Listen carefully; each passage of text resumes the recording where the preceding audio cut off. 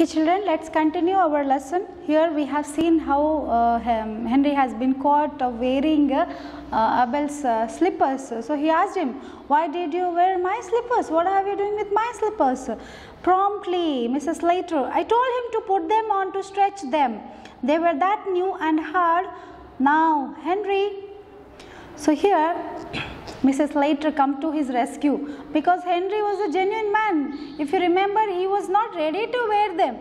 But uh, forcefully, Slater, Mrs. Slater, no one but Amelia Slater made him to wear. So here, when he asked her, really, he might uh, speak the truth. So um, Amelia immediately, you know, so quickly, very soon, she said, Father, it is uh, me who had. Said him to wear because those slippers were new and very hard. So I thought if Henry was that, it will stretch. Mrs. Slater snatches the slippers from Henry and gives them to Abel, who puts them on and sits in the armchair. So Mrs. Slater immediately snatches, taking forcefully. Snatching means nothing but taking forcefully. Taken and given them to who? Father Abel, and uh, who, oh, after wearing them, sits on an armchair. Mrs. Jordan, Elizabeth Jordan, to Ben he was saying, this is only to Ben. Sly, I mean, slowly she spoke. Well, I don't call that delicate, stepping into a dead man's shoes in such a haste. So actually here children, stepping into a dead man's shoes, uh, not delicate. It's an uh, idiom.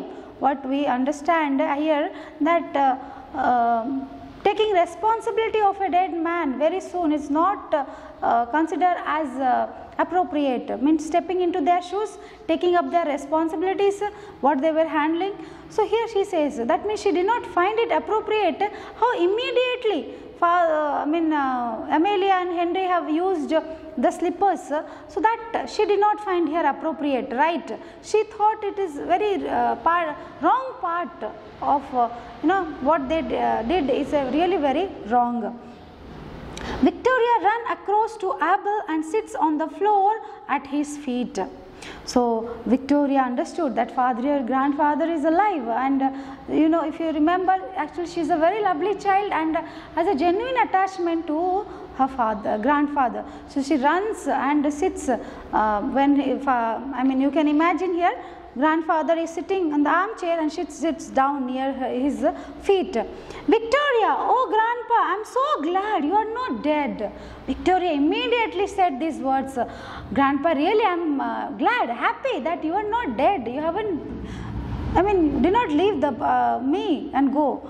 Mrs. Slater, in a vindictive whisper, means in a ill manner, she hushed, asked her to keep quiet. Who, to whom?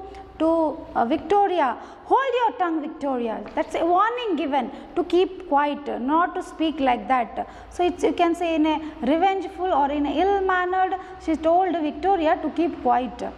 Abel, ah, what's that? Who has gone dead? Who's gone dead? So he asked. He heard it, huh? what she's saying? Who's gone dead? Mrs. Slater loudly says, Victoria says she's sorry about your head. Very loudly she speaks. Who? Uh, Mrs. Slater. Amelia Slater clears that uh, actually Victoria means that she is sorry. She is feeling sorry for your head. Head means your headache. If you remember, father said that he has headache. So that she used that just she is feeling sorry about your headache. Abel, ah thank you Vicky but I'm feeling better. He says don't worry I'm feeling better and thank you for your concern here. Who says, uh, Abel says to Victoria, Abel, why Ben you are in mourning and Lizzie too and Amelia and Henry and little Vicky who's gone dead. It's someone in the family. He chuckles. So he says and he observes everybody first Ben and uh, Lizzie. Lizzie here Lizzie she calls you know parents they have their nicknames for their children. So elizabeth is called as a lizzie here. Children don't get confused. Here uh, yes sorry here one. I we missed. So here nothing but jordan. Which jordan? Mrs jordan is. So she says uh, why you people all little vicky also in the morning? What happened who has gone dead? Who's gone dead here? Who has gone dead? And he, someone in the family he says in a laughing manner quietly giggling chuckling is nothing but in a giggling quiet laugh is someone in the family has dead? He asked. So Abel asked to all of them, Mrs. Slater, no one you know, father, a relation of Ben's. So he clears that uh, father, no one who has whom you know, none of you are from your relation. So it, he is a person from Ben's side. Ben means who? Uh, Elizabeth's, Mrs. Jordan's, Ben Jordan here. Okay, so it is from his side. And what relation of Ben's? Abel again uh, inquired, what relation of how he is related to Ben? His brother. Mrs. Slater says, his brother. Whose brother here? Ben's brother. Ben to Mrs. Slater, damn it, I never had one. So, damn it normally when you are annoyed children, damn. Damn it. Angry, annoyed, are such expressions used to uh, when use this is an expression used damn it here children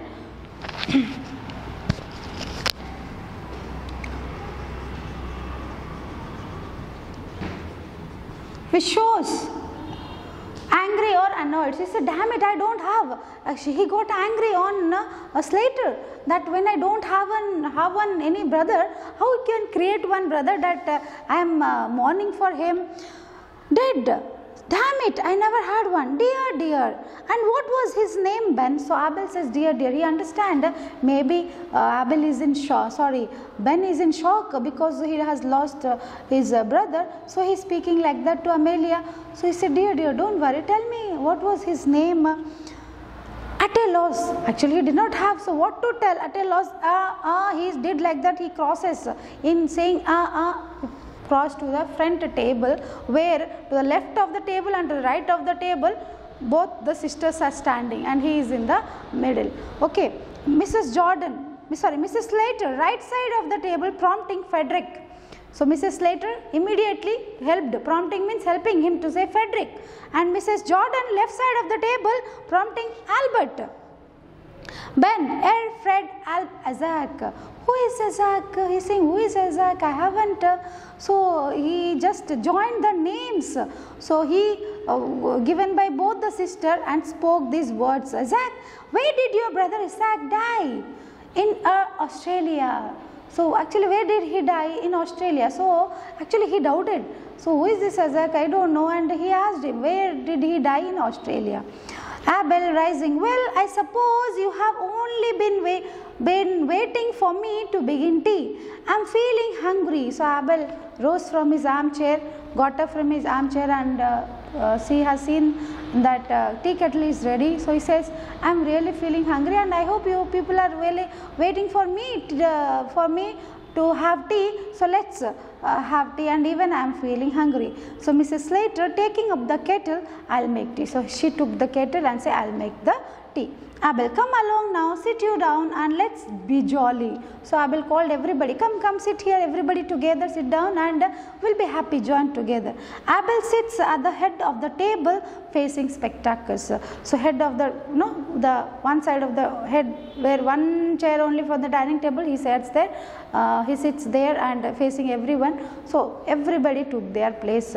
So up to this part we have seen how uh, they are being confused and uh, uh, when they see uh, mm, their father alive. And to just hide that they consider him as dead they have to really act that someone else has dead and they made Ben's brother who is actually he says I don't have any brother so they made him to believe that uh, it was uh, who Ben's brother, uh, Ben's brother has passed away and we are mourning for them and he calls everybody for a tea and everybody they sat there together.